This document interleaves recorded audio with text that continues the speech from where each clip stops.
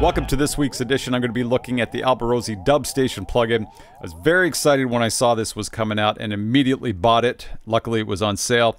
It's put out by audiothing.net, and I'm already familiar with this company. I use a few of their plugins, including the Mini Verb, which I absolutely think this is a terrific plugin and well worth the price. There's maximum flexibility and interest, and it comes with a great selection of presets to get you kicked off. Uh, I absolutely think this is a great plugin.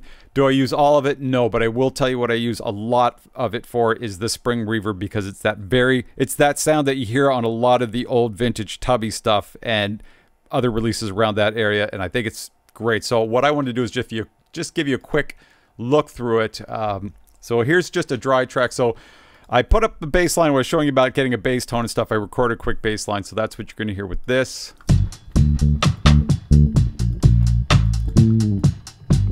So I've got the drums very, very uh, dry intentionally.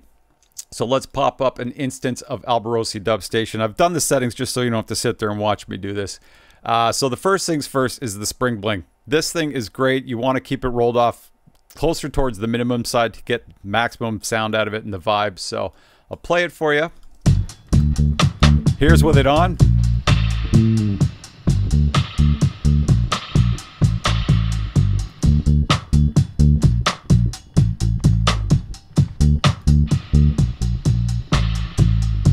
So what I've done, I've actually got this right on the drum track itself. I could create a bus and then send the drums there and filter it if I wanted to remove some of the low end from the kick or whatnot. But for this, I actually like it overall. I like it on the entire track. I use it on a lot of skanks and stuff when I'm doing more of a roots classic dub sound.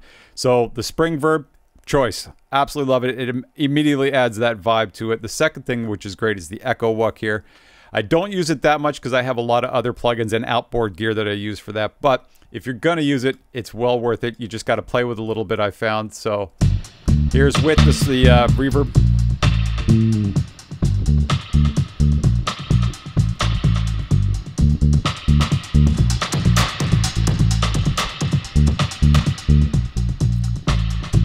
When you crank the input, you can get that gnarly sound. You just have to play with it to get the right balance of how much delay so it doesn't overtake it. But again, you can set up on a bus and you're going to be just fine. This is directly on the drum track itself.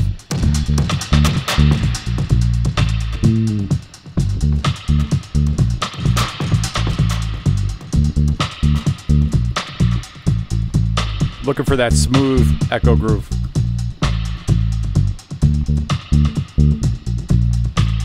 And lastly, the filter.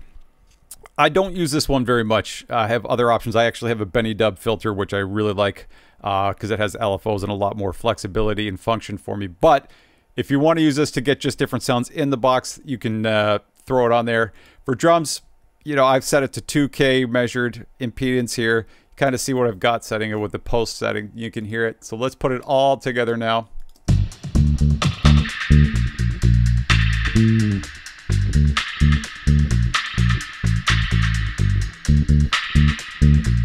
To bypass it all. Let's say this is the dubbed up version.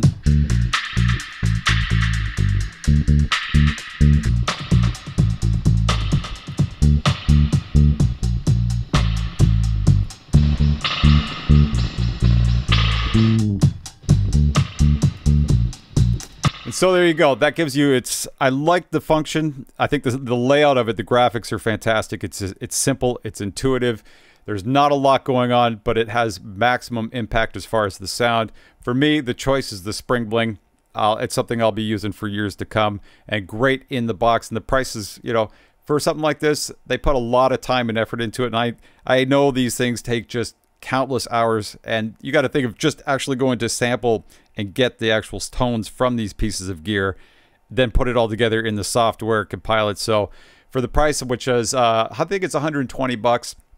You usually catch it on sale. It's worth it because something you'll use for years like i said. So there it is the alborosie dub station. I give it two thumbs up well worth having and i hope you enjoyed it I hope you check it out. They probably have a free trial version. I'll include a link in the description, as well as I'll include a link to a couple other free downloads for you to check out. Okay, I'll see you again next week.